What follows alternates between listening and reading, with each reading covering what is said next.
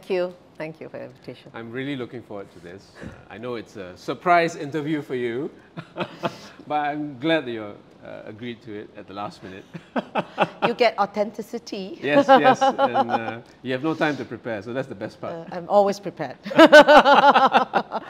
so, one of the reasons we thought you know it'd be great to talk to uh, parents like yourself is just to understand you know how it was like taking care of a high performing athlete from a younger age and you know some of the challenges some of the joys you know and some of the not so great moments you know I think a lot of parents would really enjoy or appreciate uh, listening to your experiences so I hope you're ready to go for that I share whatever I know. okay, great. So maybe what we can do is uh, let's start uh, from uh, you know Max's early years. Um, can you share a bit about his uh, early interest in sports or any sports? You know, how did it all begin? Okay, I won't share really with sports because I think it's an attitude, right? Sure. It's a it's a character of a person. So Max, from young, he is always quite reflective. Mm observant. He doesn't dive into anything. He he reflects, he observes, he reflects, and then he does it. I see.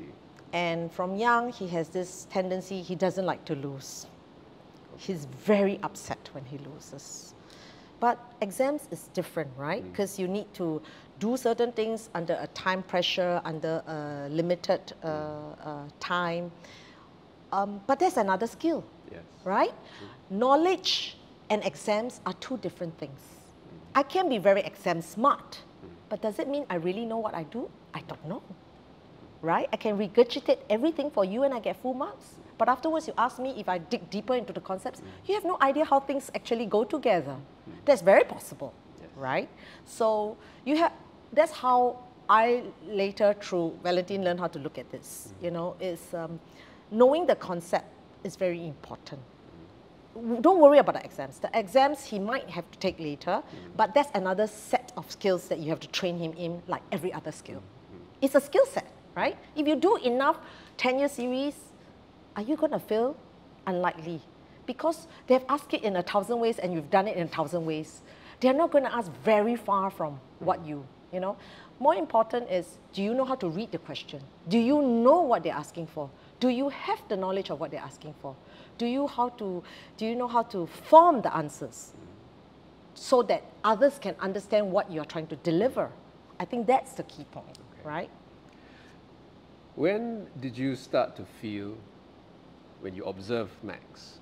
When did you start to feel that okay, we are doing fine? Valentine's approach, my approach combined, our child is coming along just fine. When when did you first get a sense of that? Uh, what told you that the child was coming along? Only recently. Surprisingly, I take okay. a lot of time to be reassured. I see. I think a lot of, I mean, I still can't say it's fine, you know, and when everybody says, oh, look at Max, it's fine, I said, look, my cake is still in the oven. it looks good for now, but I don't know if I open the oven door, it's going to, your souffle is going to all like deflate, right? Okay. But I think it's a is for me, I'm more vigilant. Maybe I'm more mm. considerate. I think that it's a never-ending job, right? Okay. You know, you you you think at this point of time it's okay, but what is okay when it's okay, okay. I, I, don't know, right? It depends on whose benchmark, whose yardsticks you're okay. using. You know. So it's your yardstick. What what when you see Max, you know, over the years, what told you, okay, not too bad. We're doing fine. It may not be super brilliant, but it's not lousy. You know, what what gave you the assurance?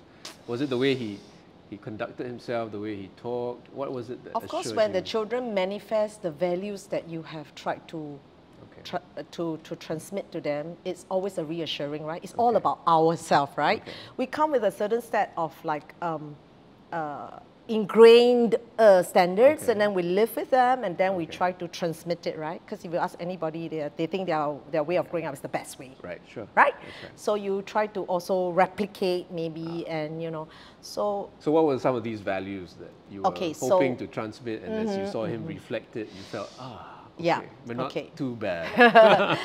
so in terms of knowledge, when you know, when people ask him questions, he could answer, he could conduct himself ah which we think quite reasonably How and old? mature. Was he when, when Mm, he very was doing young, like nine, eight, nine, t- uh, because ten. He he tend to be youngest on the circuit, so when Okay. be, even if it's a sporting question or non-sporting Mm-hmm. question, you find that actually, you know, he's okay. He can answer them. You know, Okay. if he doesn't know how to answer them, at least he knows how to look up for the answer. I see. So even as an eight, nine year old, he could handle questions and conversations with, Yes. I presume, much older yes. people. Yeah.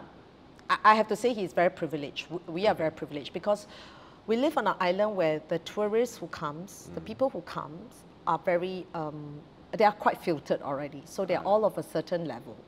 So he has very um, intellectually stimulating questions. I see. And Okay. he, we get scientists, we get business people, we get all sorts of people, Olympians, whatever you have it, we, you name it, we have it. And he gets to interact with people like that. So when you, be, when you live in this realm, you do not think that it is quite out of reach. Right. You know, It's it's, for you, for it's normal, right? To achieve is normal, right? Because Okay. that's what you see in your everyday life, right? see. I mean, everyday life for, For a good him. while. So, and after that, he became the youngest in the in the in the kiting community. He, he's given interviews. I mean, I think Straits Times started to interview him when I don't know, like quite young, and and um, we say that we never want to be in the interview because you know your presence alone influences the person, the way they communicate, what they want to communicate. They mm. become very aware. And I was very curious to see what would be communicated without our presence, whether subconsciously or subconsciously influencing his answer. And when the first interview came out, I said, wow, I would have answered that. That's quite all right. You were impressed. Uh, yeah, suitably. Yeah, and I think um, he has some values which I, I treasure, like a little bit down to earth, and you know, I, I try to emphasize those Down values. Yeah, okay. like What I- tells I you that he's a down to earth boy? What does he do or say that tells you? Mm, he has. I don't think he has ever said that I'm the best, or you know, a- a- anything alluding to that. You know, when asked about his achievements, very often he will tell you that I'm lucky, uh, because other contestants are, you know, you know, I try to do what I do and concentrate, you know, and don't think about, you know. Um, I think, you know, these are things that tells me that you know he's not trying to advertise his uh, skills or his achievements too much. Yeah. So here is a eight, nine year old growing up in a environment where he gets to meet scientists, businessmen, Olympians. He's just wandering around the, the place, talking to whoever is happy to talk to him. And it wasn't even a deliberate Yeah. You know, you weren't trying to push It was not out, right? contrived. Yeah. Right? No. No. Yeah. So he just happily learned how to, to talk to whoever was there. And what was the response like from uh, you know some of these guests that came through, like this nine-year-old sitting here and talking to me? Oh, he's very mature. well, he's always been a little bit uh, ahead of his years. Let's put it this way. And um, as a parent, I, wor- I worry more. You know, i- is he going to be a child? Does he get to be a child? Right? But um, I think that you have to ask him. and um, yeah, they, they feel that, um, of course, you know, their children, they will have, you know, I get complaints about him too. He has his moments, and, you know, uh, at first it's very hard on me, and I take it personally like, is it my upbringing? Is it, you know, um, and afterwards, you know, How did, how did you cope with those criticisms about Max? And how- I often look at myself and say, what can I do, or what can I, you know, what what it, what went wrong, you know. Uh, I think it's a very uh, maybe a, I, I, it's a very uh, Asian culture, you know. If somebody says, oh, then you think, okay, what did I do wrong, right? What did I do wrong? What did I do wrong? Um, but you know, over time, and you know, if you get um, if you get eight times compliments and two times criticism, what you want to concentrate on? Do you like to reinforce the good or you want to suppress the evil? What do you want to do? Right? You focus on what you can do better for him and how he how to get him, you know, in the direct him and uh, like help him to you know encourage to flourish him in the way that he can from his what he already has or you can, you know, I mean, I say this now, but probably I acted more the other way at that time trying to improve whatever that was not good, right? So when you look back now, mm-hmm. what do you think you did well in terms of raising Max in terms to be what he is today, with with some advantage of time? You know, what did you mm. do when he was younger, in his mm. when he was six, seven, eight, Yeah. nine, that makes him what he is today at Oh sixteen? no, less. I don't use the word well in parenting. You parent like you parent, mm. like you can parent. It starts with your beliefs, right? Because I believe that, you know, we like to think that we are engineers. I read somewhere, you like to think that we're engineer. We can engineer this child into somebody, you know, you can engineer them into some athlete, some scientist, some doctors. No, you are not an engineer. You go in and you are a shepherd, mm. right? You have the sheep, you have the qualities there. You can't bring out what's you mm. can't bring out in there what's not there, mm. and you can't suppress too much what's there.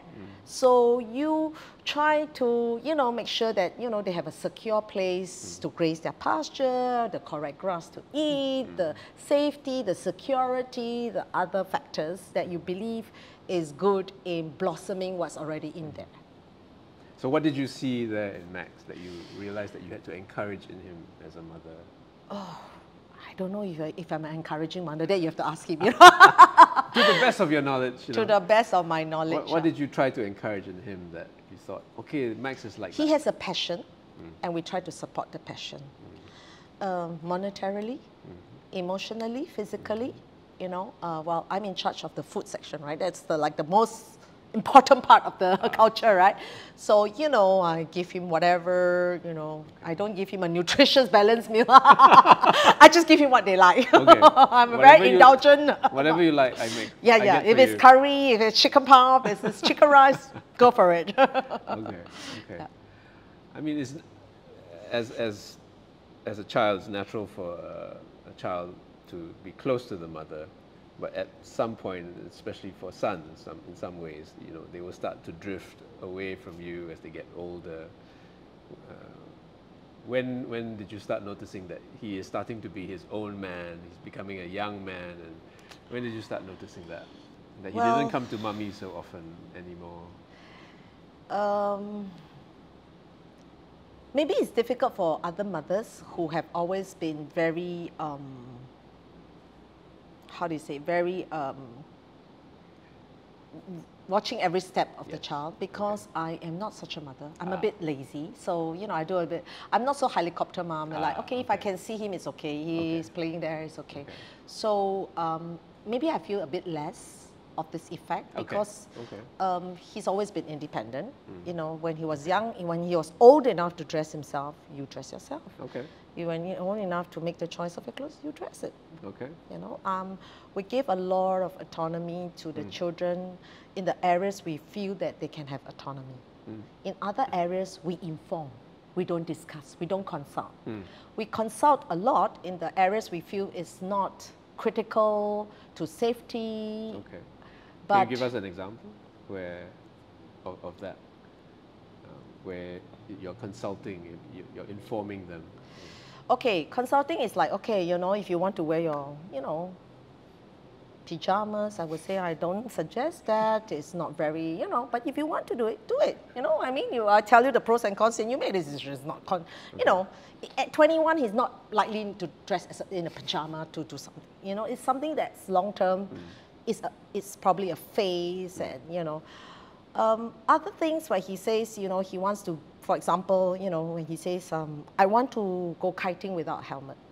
That's a no, no, no negotiation. No. You go with your helmet because that's a safety issue. We're not asking you, we're telling you. Right. That's the information. That's not the discussion. Okay. So, you know, it depends on the topics that's being raised, right? So, in many ways, we try to have a dialogue, and then another ways, no, it's not a dialogue. Right. It's not.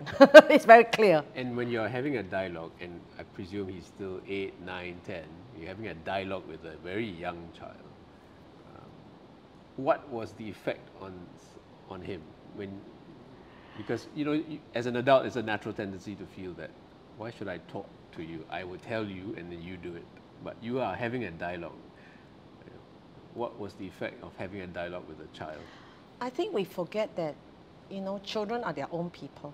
Mm. They may, may not be able to articulate or format it in the way that you can really make sense or, you know, but they are their own people, mm. right? So if you from young, maybe they don't understand and you try to, you know, um, talk to them, it can be frustrating or whatever, but actually I think the message is you are trying to get them to think autonomously. Mm. And this independent thinking is one of the critical things we feel that you mm. should be able to do. Uh, because otherwise, you are just, if you're just telling, if somebody is telling you what to do all the time in your life, what do you know what to do when they don't stop telling you? Mm. Because you have never been thought, or everything is a habit, right? Even thinking for yourself is a habit. Mm. So if you start this habit from young, or that's what I like to think, then you tell them the message is there. I mean, the, the actions is one thing, but the message is think for yourself. Think about what you're doing. You know, you have to make some autonomous decision. And, and how did Max respond to this, uh, uh, this freedom to make his autonomous decisions? What did you notice? I don't know. I'm not so sure I, answer, I understand your question. Because you're willing to have a dialogue Yeah. with your son, right? As opposed to just telling him, do Yeah. this, do that, Yeah. don't argue with me. But you, you let him do that.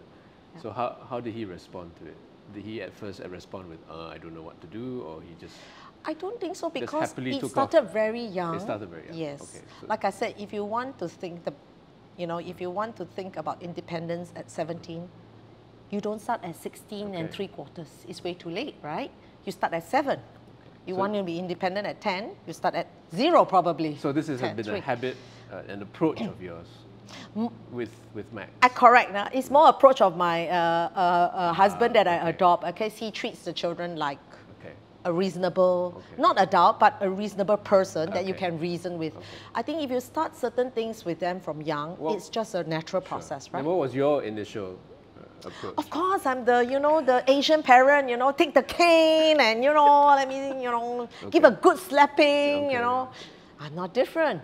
Okay. But I just saw it was more effective Ah, because the children takes if they have anything like our rebellious and horrible stubborn nature then maybe soft is the way to go. So- doesn't do very well being hard. So you, you saw, despite your initial reaction, which is the more Asian style, my, my more yeah my tendencies. Your tendencies, yes. You saw that it was more effective with Valentine style. Mm. I, I learned it the hard way Okay, you learned it the hard way. Yeah. I'm, now I'm very curious. what was it that made you learn the hard way? What happened that made that you realized, ah, this approach does oh you work? have a lot of uh, standoffs you know. standoffs with uh, you with not Max with Max, or- not with uh, with the other one. Ah. Yeah, because every child is different, right? But uh, Okay, then okay. actually, um, Max is a e. I mean, I won't say easier. He's a different child, right? Sure. So, different child, yeah. but you, if it's unfair to treat him the way I would. I mean, actually, I'm more strict with him I than see. with the. Uh, but he is the most, I would say, compliant one, the I see. easier one Okay. in terms of, you know, he doesn't push back too I much, I and but they all have their own minds, you know. Like he Sure. said, like I tell him, Max, go for another five minutes. No, I won't go. There is nothing on earth you can do to make him go. Nothing. You know, he is very set when he makes a decision. So you start to understand the character and you work with the character, right? Mm-hmm. You can force it your way. Mm-hmm. But then what you have to ask yourself, is the forcing the way more important or is the relationship more important? You have to weigh for yourself, right? Mm-hmm. Because I have in my mind what how I would like to ideally be with my child, right? And then there is the reality that strikes you, and then how do you manage this? How do you, you know? So some of your ideal parenting ideal. issues, they had to, to slowly fade away. Yeah. Because Yeah. the reality of your child is another matter altogether. Yeah, I think you know. Uh, What, what did you have to give up, you know, in terms of some of your parenting standards? Yeah, like you know, you can be very strict. You have to be very strict. You have to enforce all the values, and, and, and- you know, you you you start with ideals. Then uh, reality comes in, and then you say, you know what? Forget about the ideas. Just do it. Just do it. Just go with the flow. It's much easier. Okay. okay. Uh, maybe I'm not so reflective. I guess it sounds to me that you know, in in wanting to deal with the reality, who your child really is, Mm-hmm. you you wanted to work with him as opposed to like always want to have a standoff with Right, him. right, yeah. Right? know. You don't try to turn a rose uh, into a tulip and then the other way around. So if you, the more, the better you can to recognize a rose as a rose and appreciate its qualities, then you can better appreciate what you have. I guess maybe. So when you look back now, uh, Mm-hmm. what are some of your you know, prouder moments uh, about what Max has achieved, and and not necessarily just about medals or you know, you know, as a human being, as a as a mother of a, of Max, what, what are you proud of that he Okay. has become? Yeah. Actually, I am never, at least outwardly, very proud of his achievements. That's for everybody else to do, you know? Okay. He has enough pride coming from that area, so I don't need to feed into that channel. That's not my area of expertise, and that's I mm. don't see my role like that. Mm. I'm proud when he answers an interview in a down-to-earth manner. He gives everybody, he takes everybody along this bandwagon of achievements. And he gives i told him it is very important to take everybody along on the way.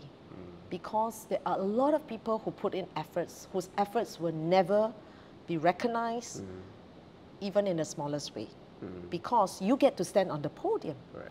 it's obvious, mm. you know, but there are a lot of people who contribute in many other ways that will never be standing on the podium. Mm. And you have to bring to light what what it means to have a team, what it means to have a spirit, you know, and when he is able to convey or express the spirit, it makes me very proud.